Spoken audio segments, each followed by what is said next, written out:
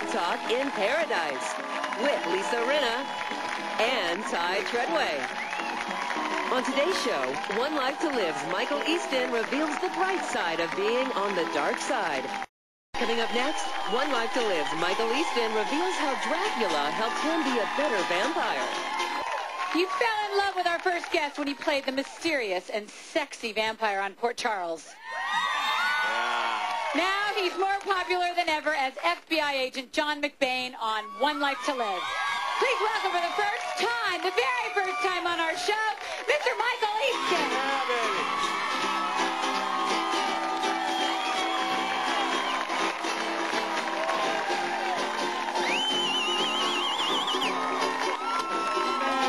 Michael, What an honor thank you for being here. have Michael here. First of all, I just want to say, Michael Easton, you are the Johnny Depp of daytime. Let me tell you right now, there is nobody cooler in daytime. I'm telling you. There, I got Michael Easton posters all over my dressing He room. at does, Soap Michael. It's embarrassing at times. Hopefully you still feel that way when this is all over. Oh! No, but you're notoriously shy with the press, so we're First time ever doing an interview. On, Really? Right? Yeah, first time. I mean, Wow. Well, I feel honored. Thank no, well, no, you. it's, it's because of you guys, because you both did it, and you have a great, you know, you, you handle it with dignity and respect, and you're charming, and so I figure if I'm going to do this and be a soap talk virgin, I want to have my first time with you guys. Wow. You know, it's his first interview, and he's already learning how to lie to the host. That's good stuff, man. I watch a lot. So let's talk a little bit about John McBain. First of all, I want to talk about when you first joined the show.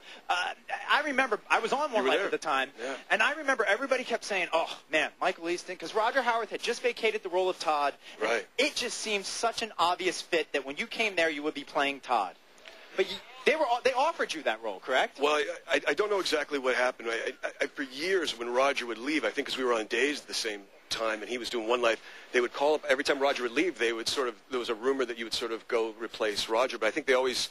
I don't think you really replaced Roger, and I think that he, you know he's so good at that role. They always would leave it open for him. Right. And then when they originally called, I think there was some talk of that, and then I think they were really happy with what Trevor was doing. And uh, to be honest with you, I, I didn't want to play the part. That was really the bottom line. I think that that was that, and Roger does it great. And so they created something new, and that was kind of nice to be able to you know sink your teeth into something.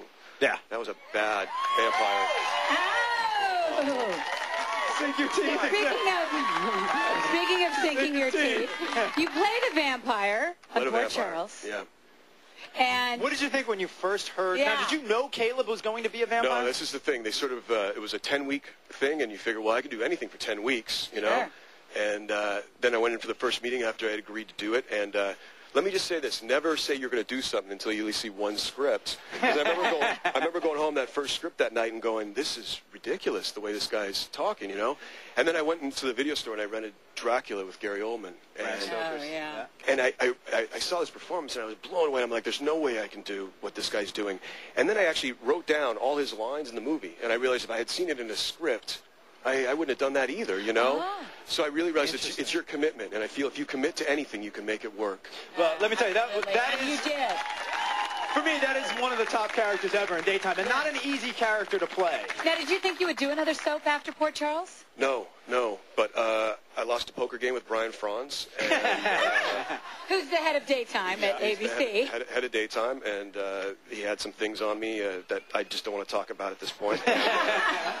and uh, he said he'd keep those quiet, and so we're on One Life to Live. No, it was a, it was a great opportunity to go work, and, and